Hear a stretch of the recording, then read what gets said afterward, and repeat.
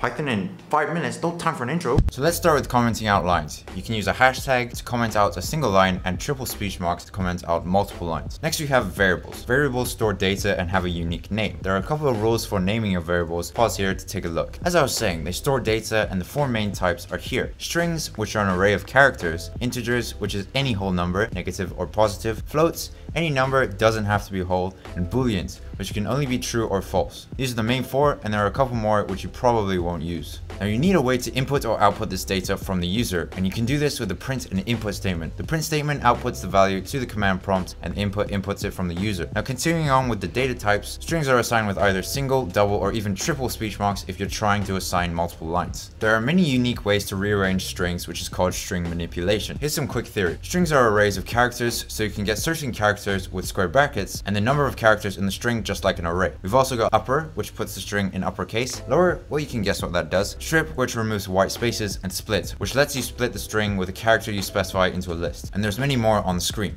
Moreover, we have escape characters using the backwards dash, so backward dash n, which puts string on a new line, backwards dash speech marks, which lets you put speech marks in the string, and there's a lot more functions for strings which you can pause here and see. Now for floats and integers, you can convert between them by putting the data type outside the variable, and you can even do this for strings if the string is a number. You can also use type to find out what kind of variable it is, and this applies to all data types. Now for some if statements, these are selection statements which will run if the conditions are set to true. You can set these with the following comparisons, so if a plus b is 5, then the script will run. And we can create all kinds of conditions. And if you have a bool which is true, you can put this inside an if statement and it will run. Now you can throw a bunch of these together using logical operators, so and or not. And you can connect them together like this. You also have elif which will be the next statement called after if, and else, which will be called if the if and elif conditions are not desirable. After talking about variables, we have lists, and you can throw a bunch of different variables into them. I could have a list of strings, and it means you don't have to create a bunch of variables, and you can refer to each piece of data by using the square brackets. And remember, everything starts from zero. Add to them using the append and remove them using the remove command. Just like I said before, strings are arrays and you can use some of the functions we had before on lists, so length or type. Tuples are pretty similar to lists except you can't edit tuples. You use brackets for assigning and you can't append or remove, which begs the question, why use them? Well, they're much faster and you can use them as dictionary keys, which we'll cover in a second. Sets, again, are similar to tuples and lists. However, you can't have duplicate values and this is useful for sorting data into groups. You probably learned about this in maths, functions like union or intersection, and here are some sorting commands you can use. Continuing on from tuples, we have dictionaries. Dictionaries compare data types, and this makes it easy to get the values very quickly if you know the name. Just like sets, you can't have duplicates, but unlike tuples and sets, you can change the values of the ones you assign and remove them. It's pretty inefficient to write the same code multiple times, and in this case, you'd use a loop. And there are two main types. We have while and for loops. A while loop depends on the condition you assign at the top. So as long as this is true, the loop will keep iterating. A for loop is used when you know how many times you want the loop to iterate. You can use this using range, so if I put for i in range 5, this will loop 5 times.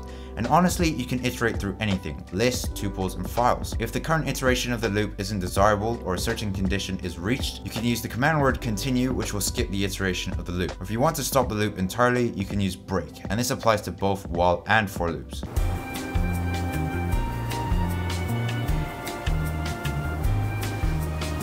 Just as I was talking about inefficiency, you might not want to run the program many times in a row, but call it when you need it, and this is where functions come in. Functions are pieces of code you can call when you need it. Inside these functions, variables are local, which means they won't affect the rest of the script. So initiating a variable inside the function will be unusable outside unless you make it global. You can pass variables into functions by declaring them in the brackets, and you can return variables at the bottom using the return command. So when you call a function, you put the name, and in the brackets, you put the data values you wanted to input. If the function returns a value, you can assign it to a variable which can be used later. You can make a function call itself, which is called recursion. So file handling is what you can use when the information is too much and you want to save it. So these are txt files. You can open a txt file like this, make sure the file is in the correct directory, and you can open it to read, write, append, and create file using these letters. You can read using read, and you can read lines using read lines. And you can iterate through a file using a for loop and get the values for every line. Make sure you close the file using file.close, or even better, use with at the top, which will close by itself. And then writing is quite quite similar, but you use write and write lines. Now Python is known as an object-oriented language, which means you can create objects and control them. And these objects have properties and methods. So you can create a class with class and then the name of the class. Now we need to give it a function called init, and this is what is called when the class is initialized and an object is created. So this will be used to assign the object properties. So you can use self dot and then any variable or data type you want and what it's equal to. With this, you can create an object. So we can assign an object, let's say object one is equal to this class. And then we can print out values of object one and the variables we initiated in the init. Just like regular variables, you can change them and delete these properties. Next, we have methods I talked about, and these are functions within the class which you can call with the objects we created. And after that, we have inheritance, which is basically a class inside a class. Now you're at this point in the video, and I'm sure you're probably going to run into some errors, and this is where try and except comes in. Use try, and if there's an error in any of the code you put inside the try, it will go to the except command, which will run instead